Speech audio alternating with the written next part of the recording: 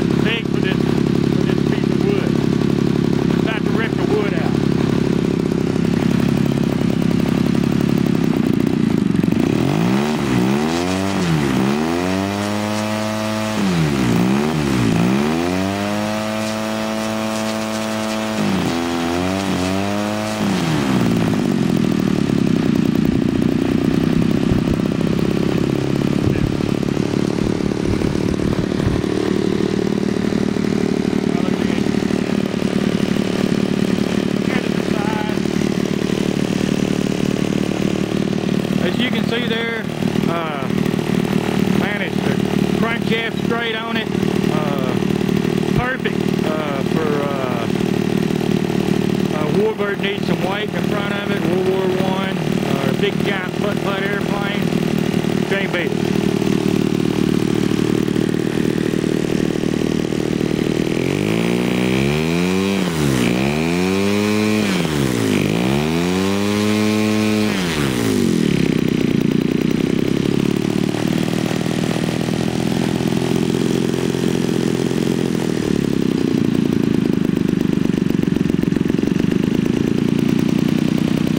and it's adjusted right. Uh, like I say, 93 octane gas, 2 ounces Amsoil, 2012 propeller, uh, coolest JTEC muffler you ever seen in your life. Nothing's broke on it. It's in jam up shape. It's for sale. A buddy of mine bought it. We're gonna get into a giant scale and decided not to do it. But uh,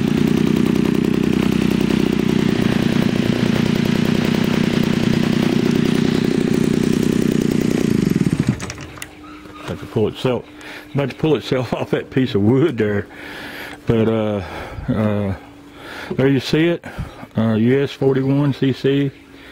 Turned to 2012 like crazy. And uh, uh, no broken fins. Straight crankshaft. Uh, straight crank on it.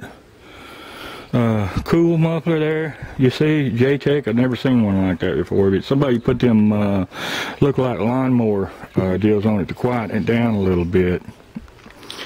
And uh, got a real nice uh, throttle, uh, heavy duty throttle, bell crank setup on it, velocity stack.